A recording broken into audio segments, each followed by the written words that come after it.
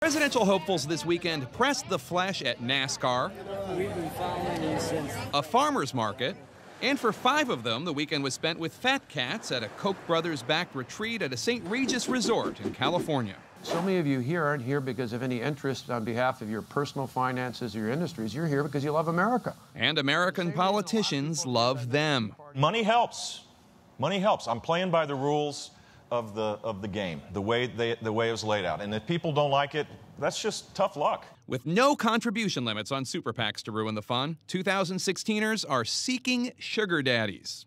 you have to raise $100,000 every single week for a full year to raise $5 million. For a sugar daddy, you get a $5 million check like that. The super PACs behind Ted Cruz have raised $38 million so far, 95% of it coming from just three families, including one that got a lot of its dough from fracking. According to the New York Times, all this super PAC cash means that only 400 families have provided about half the money in the election so far.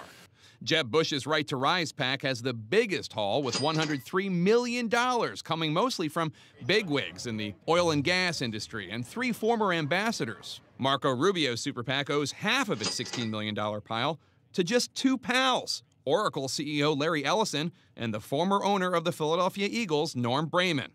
Wisconsin Governor Scott Walker has $20 million in super PAC funds, a quarter of it from the owners of the Chicago Cubs. On the Democratic side, one of Hillary Clinton's super PACs has a $15 million vault, which is shared more evenly among big names, including $1 million each from DreamWorks executives Steven Spielberg and Jeffrey Katzenberg, as well as big gifts from George Soros and Star Wars director J.J. Abrams and his wife. Super PACs have fundamentally changed the game for 2016 presidential candidates. They have to spend a huge amount of their time not just courting voters, but courting billionaires. The big question, of course, for all these donors what will these rich guys and gals giving these huge sums expect from the candidate who wins?